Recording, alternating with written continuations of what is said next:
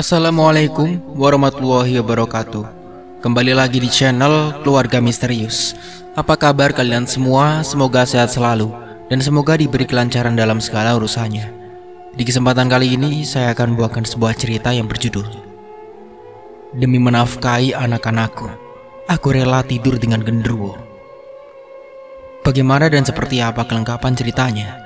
Tentunya tak usah berlama-lama. Langsung saja kita masuk ke ceritanya.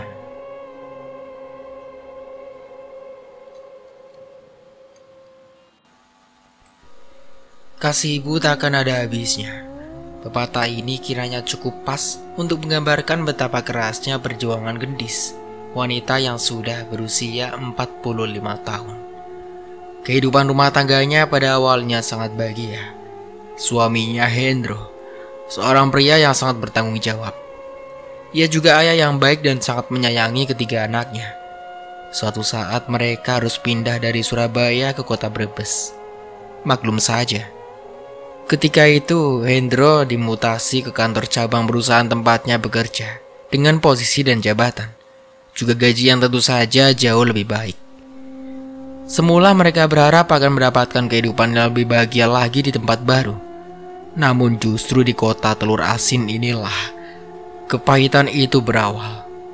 Iya, tragedi itu bermula dari vonis kanker otak terhadap anak ketiga mereka, Ardi Firmansyah, yang ketika itu baru berumur lima tahun. Kenyataan ini sungguh memukul batin gendis, juga batin suaminya.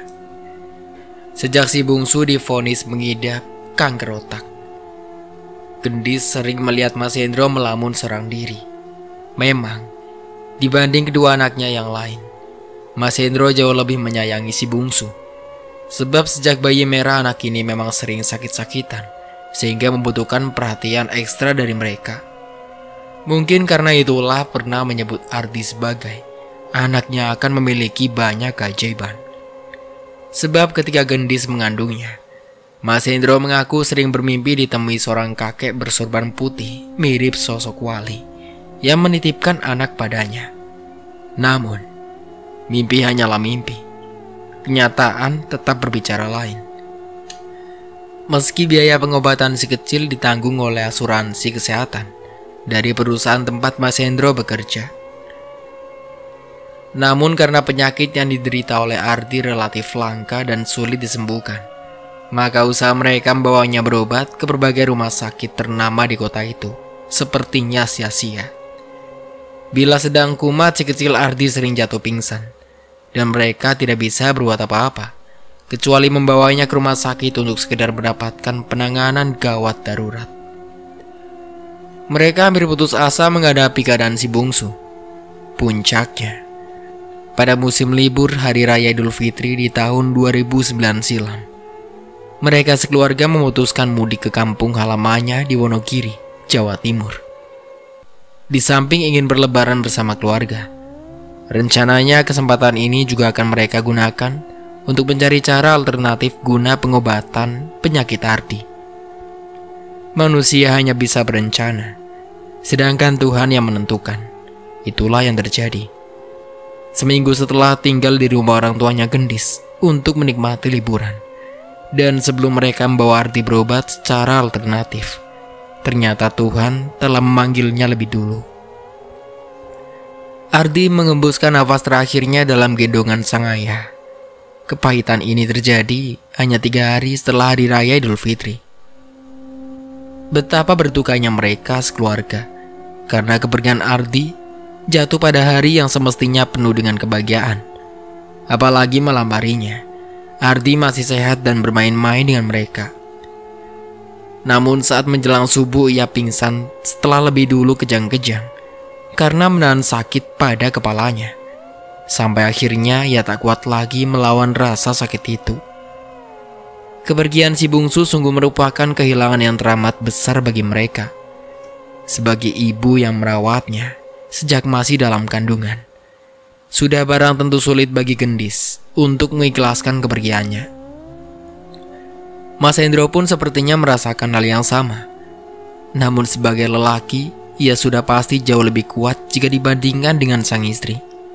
Buktinya, Walau masih dalam kedukaan, karena masa liburannya sudah habis, maka setelah talil tujuh hari kepergian Ardi, Mas Hendro kembali ke Brebes untuk melakukan rutinitasnya sebagai seorang karyawan di sebuah perusahaan swasta.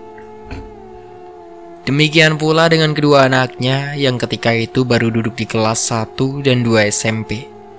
Mereka tetap tinggal di Wonogiri. Bahkan karena kedekatan dengan kakek dan neneknya, kedua anaknya ini memilih pindah sekolah. Sejak kepergian si bungsu, hari-hari yang dilalui terasa sangat tampak.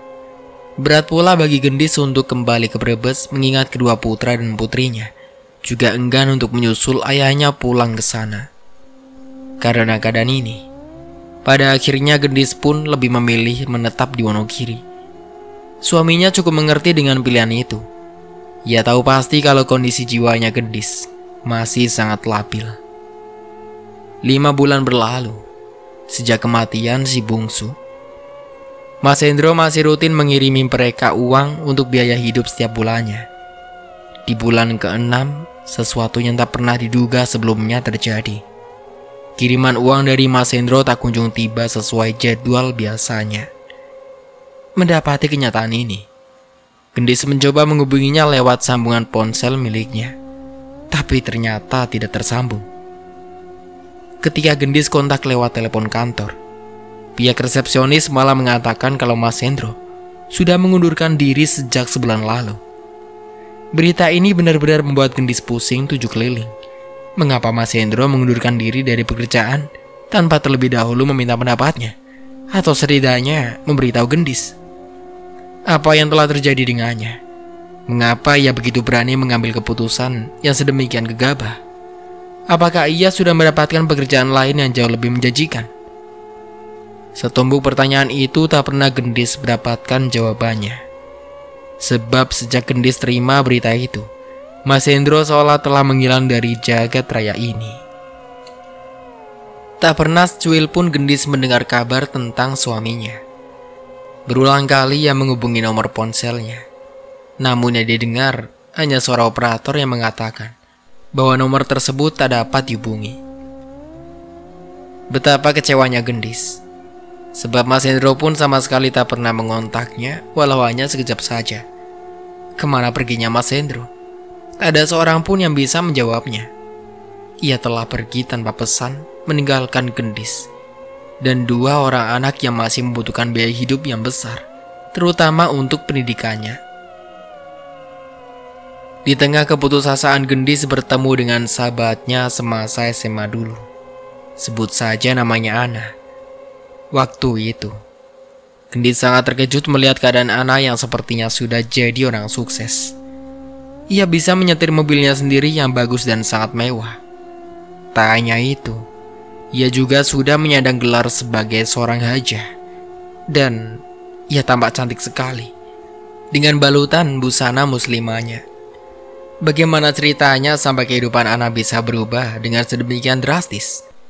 Padahal, Gendis tahu persis bagaimana asal-usul sahabatnya itu.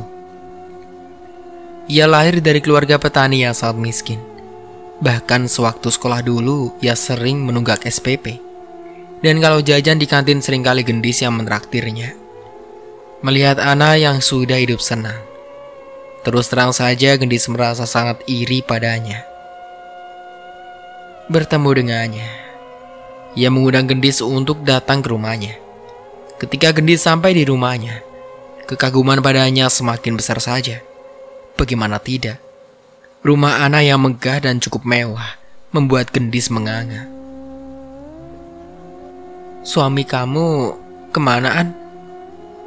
Tanya Gendis ketika melihat suasana rumah yang sepi.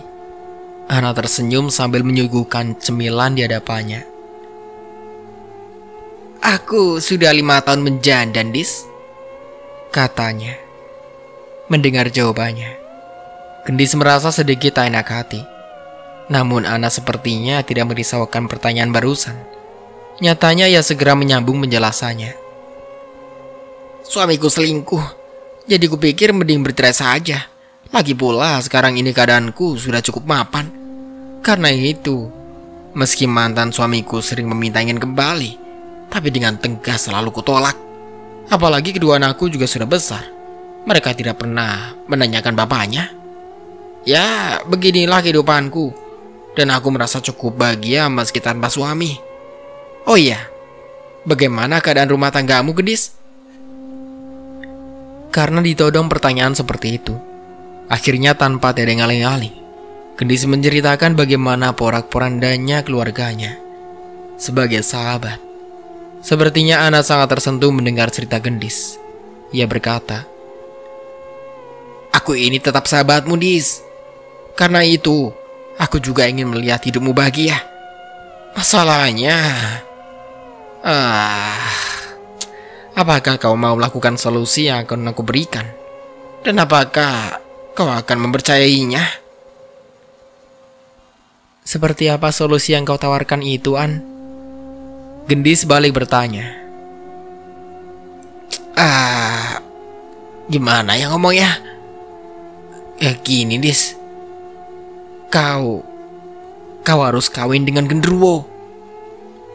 Betapa terkejutnya Gendis mendengar jawaban dari mulut mungil sahabatku ini.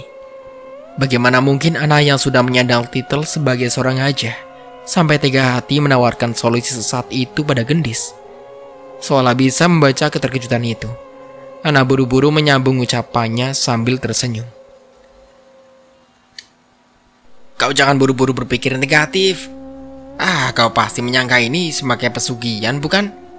Sama sekali tidak, Dis. Menurutku ini halal. Kau akan dinikahkan dengan makhluk itu secara muslim. Bila kau sudah merasa punya cukup modal, kau bisa bercerai dengannya. Dan yang paling penting, Ritual ini tidak ada tumbal macam-macam. Asal kau tahu saja, aku bisa seperti ini juga karena melakukan ritual itu. Setahun lalu, aku minta cerai sebab aku sudah merasa punya cukup modal untuk berusaha sendiri. Gendruwo itu bersedia menceraikanku. Dan sekarang hidupku tenang sebab aku juga bisa menjalankan ibadah. Setelah mendengar penjelasan Ana seperti itu, Gendis mulai tertarik untuk mengikuti jejaknya. Terlebih lagi, kehidupan saat itu memang sangat susah. Bapaknya yang selama ini menjadi tulang punggung keluarga sudah berhenti bekerja karena penyakit diabetes yang merenggong tubuhnya. Belum lagi Gendis juga harus memikirkan biaya sekolah dan masa depan kedua anaknya. Walau bagaimanapun, mereka harus terus sekolah dan kuliah sampai ke perguruan tinggi. Dengan kedua alasan tersebut, akhirnya Gendis meminta Ana untuk mengantarkannya ke rumah orang pintar yang katanya sudah biasa memandu ritual kawin dengan gendruwo itu. Singkat cerita, Ana mempertemukan Gendis dengan Ki Badrawi, seorang paranormal yang biasa mengawinkan manusia dengan gendruwo. Setelah mendengarkan penjelasan tentang keinginan yang disampaikan oleh Ana, Ki Badrawi mengaku bersedia membantu namun Gendis diminta untuk mempersiapkan semua kelengkapannya, seperti apel jin dan berbagai sarana lain untuk keselamatan ritual perkawinan itu nantinya. Ana bersedia membantu Gendis untuk menyiapkan semua keperluan itu. Benar juga kata Ana. Ritual perkawinan itu memang seperti halnya prosesi perkawinan dalam aturan hukum Islam. Artinya, ada saksi, pengulu, wali, pengantin, dan juga jab kabul. Bahkan juga mas kawin berupa cincin emas seberat 1 gram. Untuk wali langsung diwakilkan kepada Ki Badrawi. Sebab ayah gendis memang tidak mungkin bisa dihadirkan. Jadi, dalam prosesi pernikahan itu Ki Badrawi bertindak sebagai wali sekaligus pengulunya. Karena mempelai lelaki tak bisa dilihat oleh mata gendis, maka proses ijab kabul pun sangat janggal menurutnya. Sama sekali tidak ada ucapan akad nikah. Meski kemudian wali dan saksi langsung mengesahkannya. Yang juga terasa aneh. Setelah prosesi pernikahan selesai, anak berbisik di telinga gendis. Suamimu itu taman sekali gendis. Kau beruntung mendapatkannya. Tampan. Bagaimana mungkin Ana mengatakan ini pada gendis? Padahal Gendis sama sekali tidak melihat keberadaan suaminya itu. Apakah memang Ana bisa melihat perwujudannya sehingga ia berkata demikian? Gendis tak tahu pasti. Yang jelas, Gendis meyakini kalau Ana hanya membohonginya. Buktinya, Gendis mengalami ketakutan yang teramat sangat ketika di malam Jumat Kliwon. Karena malam itu suami gaibnya datang dan ingin menjalankan kewajibannya di malam pertama.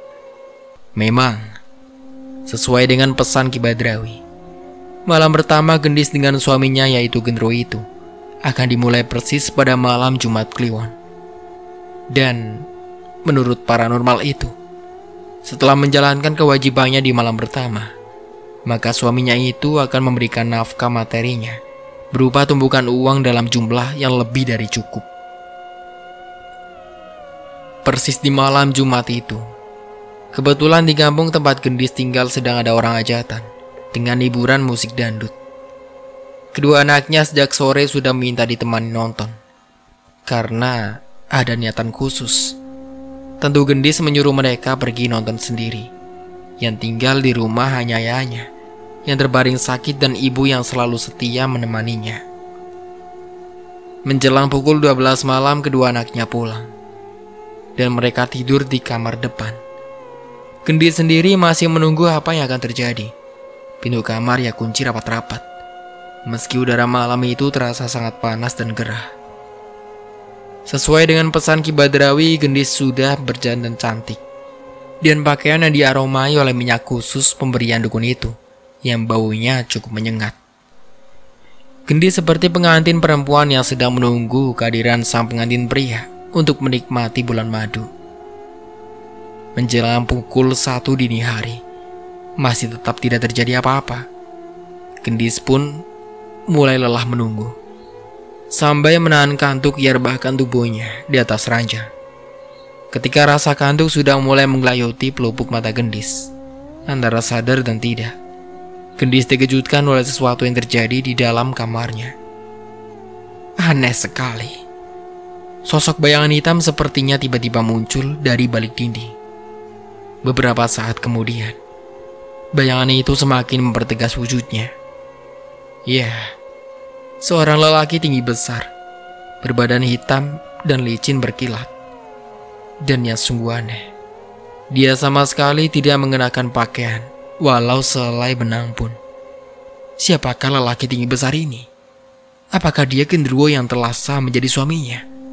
Mengapa sosoknya sedemikian menyeramkan? Padahal, Ana bilang suaminya ini sangat tampan. Apakah Ana benar-benar sudah membohongi gendis? Berbagai pertanyaan itu mendera batinnya. Gendis melihat lelaki bugil itu berdiri sambil memandangi tubuhnya. Kemudian pelan-pelan ia menunduk dan tangannya menyentuh pipi Gendis. Gendis bergidik dan berusaha berontak. Namun anehnya, seketika itu tubuhnya berubah sangat kaku seperti terpasung oleh sesuatu kekuatan gaib. Dengan sangat ketakutan, Gendis hanya bisa pasrah menghadapi sentuhan makhluk itu. Setelah ia menyentuh pipi, lalu ia mengendus aroma rambut Gendis yang tergerai. Lalu hidung dan bibirnya menjelar di permukaan pipi, hidung, bibir dan dagu. Sekejap demikian, lelaki menyeramkan itu seperti kalap. Tangannya yang kekar melingkar di sekujur tubuh Gendis, hingga membuat nafasnya Gendis semakin sesak bibirnya melumat. Dan sepasang kakinya yang licin mengkilat itu mengapit kedua belah kakinya dan berusaha mengangkangnya. Tolong! Gendis ingin berteriak sekeras-kerasnya. Namun celakanya mulutnya Gendis bagai tersumbat. Teriakannya menggema di dalam rongga dada Gendis. Tangan pria aneh itu semakin liar menggerayahi tubuh Gendis sebelum akhirnya membuka bajunya dan melepaskan kain yang dipakai gendis. Desa nafasnya yang memburu bagaikan sebuah kekuatan hipnotis yang membuat gendis hampir saja hilang kesadaran. Tetapi, Tuhan masih menyayanginya. Dalam keadaan yang sangat kritis itu, tiba-tiba saja mulutnya gendis berucap dengan lantang. Astagfirullah, la haula wala quwata illa billah. Iya, Sekali ini suara itu benar-benar keluar dari mulutnya. Dan yang terjadi di hadapannya saat itu sungguh sebuah kenyataan yang sulit dimengerti. Mendadak saja lelaki telanjang itu terpental dari atas tubuhnya. Sambil mengerang keras seperti seekor anjing yang terluka.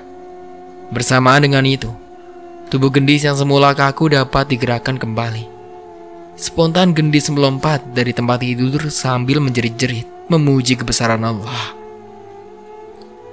Puji-pujian itu keluar begitu saja dari mulutnya, dengan suara yang lantang. Sama seperti kejadian semula, sosok makhluk itu mengubah wujudnya menjadi bayangan hitam, lalu hilang seolah masuk ke dalam dinding. Tak lama kemudian, kedua anaknya menggedor-gedor pintu sambil memanggil-manggilnya. Mama, Mah! Ketika pintu dibuka, mereka langsung beramburan memeluk gendis dan langsung bertangisan. Apa yang terjadi, mah? Tanya Angga, anak sulungnya. Gendisannya geleng-geleng sambil membiarkan air matanya mengalir, membasahi sekujur wajahnya. Sungguh Gendis tak kuasa menjelaskan semua ini kepada kedua anaknya. Gendis tak ingin melukai perasaan mereka. Gendis tak ingin mereka menudingnya telah melakukan kesesatan hanya karena tak tahan menanggung kesusahan hidup. Siang setelah malamnya, mengalami kejadian aneh tersebut. Ana datang menemui Gendis dan mengatakan kalau Gendis telah gagal dalam melakukan ritual. Biarlah ku jalani kehidupanku seperti ini, An. Aku tak ingin lagi melakukan ritual kawin dengan gendro itu kata Gendis setelah mendengar penjelasan Ana. Meski mengaku kecewa, namun Ana cukup mengerti dengan perasaan Gendis. Sebagai sahabatnya, ia juga meminta agar Gendis tidak sungkan-sungkan meminta bantuan padanya bila Gendis memerlukannya. Namun sejujurnya, Gendis tak pernah berani meminjam uang kepada sahabatnya ini, walau dalam keadaan sesulit apa pun. Ini semata-mata ia lakukan karena gendis takut sesuatu akan terjadi terhadap dirinya. Dan tak terasa, sudah hampir satu tahun peristiwa itu berlalu. Walau begitu, gendis masih mengalami perasaan traumatik. Sebab bayangan lelaki alam gaib itu masih sering mengantuinya. Ia sering datang dalam mimpinya dan menagih malam pertamanya pada gendis. Kenyataan tersebut sejujurnya membuat hidupnya sangat mencekam. Karena itulah, ia mohon kepada kiai yang ada di desanya agar memberikan doa atau amalan untuk menghilangkan keanehan ini. Dan Gendis juga ingin agar diberi kemudahan dalam mencari rezeki. Sebab kini, Gendis menjalankan usaha mengkreditkan barang kebutuhan rumah kepada para konsumen.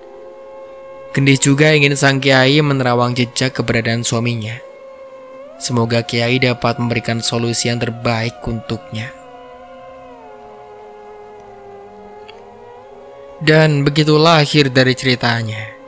Semoga dari cerita ini kita bisa ambil hikmah dan pelajarannya. Saya Dayun pamit undur diri. Sampai jumpa kembali di cerita baru berikutnya.